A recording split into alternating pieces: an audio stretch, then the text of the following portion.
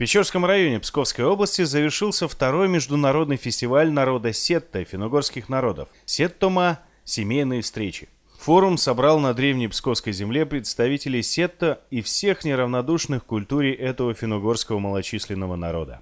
В небольшой деревушке Сигова массовые гуляния проходят второй год. Здесь расположены два этнографических музея Сетта, бережно хранящих культурное наследие народа – из различных районов Псковской области, властей Эстонии и финно-угорских регионов России сюда прибыли творческие музыкальные коллективы, чтобы на один день превратить фестиваль фейерверк народных песен, танцев и мелодий.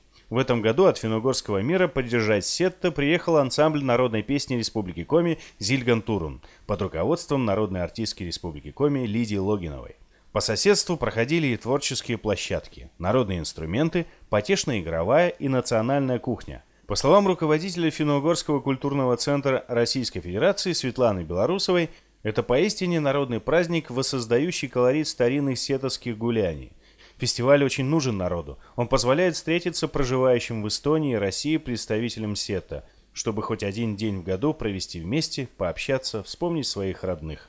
Прозвучавшие на открытие праздника поздравления от российских правительственных организаций и общественных объединений подтверждают, что проходящий в глубинке праздник международного уровня необходимо проводить регулярно.